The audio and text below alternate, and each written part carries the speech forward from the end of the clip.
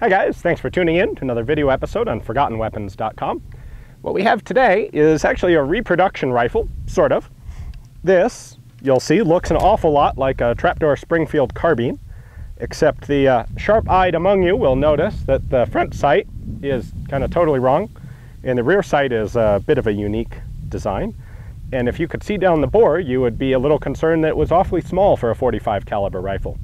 Well, the reason is this is a reproduction of an experimental trapdoor in 3040 Krag. So, uh, the late 1800s, 1890 was the, the final real trial.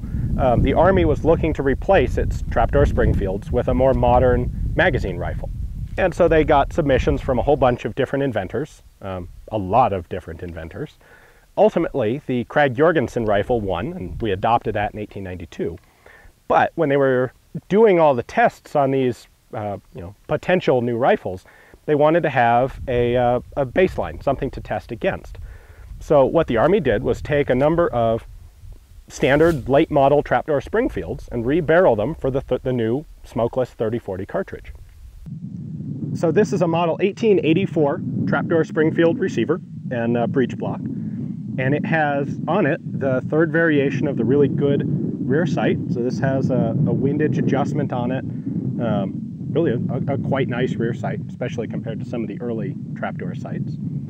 It has had a Springfield front sight kind of clutched onto it, which is actually how it would have been done in the original experimental guns. Um, and of course, a 30-40 caliber barrel.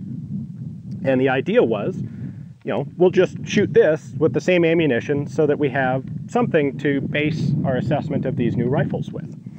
Um, and it turns out these were actually extraordinarily accurate guns. Um, they were really quite flabbergasted um, by how successfully accurate these were. Obviously, they didn't have the rate of fire of a magazine-fed rifle, um, and they weren't something that the Army was really looking to adopt because they, they, want, they knew they wanted a magazine-fed gun.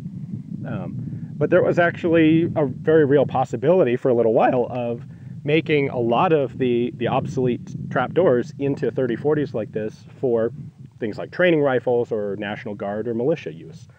Um, ultimately, that didn't happen because of budgetary reasons, which is kind of the reason all sorts of good things didn't ever happen with U.S. arms development.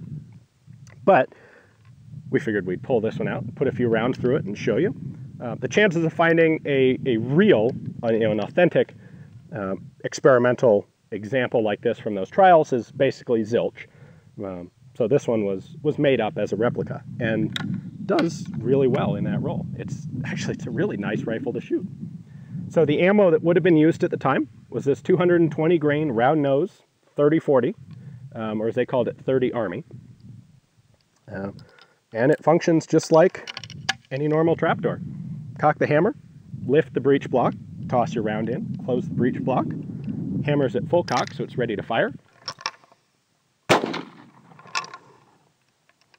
can bring the hammer back to half cock, open the breech block, that flips out the empty case. We can reload it.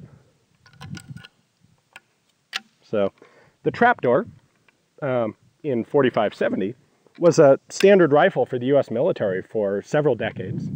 Um, and in fact, the U.S. was one of the, the later major military countries to finally get away from single-shot rifles and, and adopt a magazine rifle like the Krag.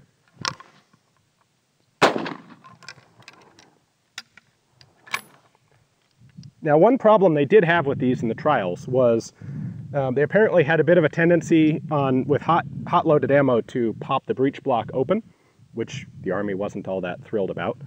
Um, and they, they made some, tried making some adjustments to alter the angle of the lock um, and discovered that when they did that, instead of popping open, it would jam solidly shut. So there were some issues, but there really was a possibility of putting in a little bit of effort finding a, a good solution and using these for training or being able to do something with this stock of obsolete uh, single shots.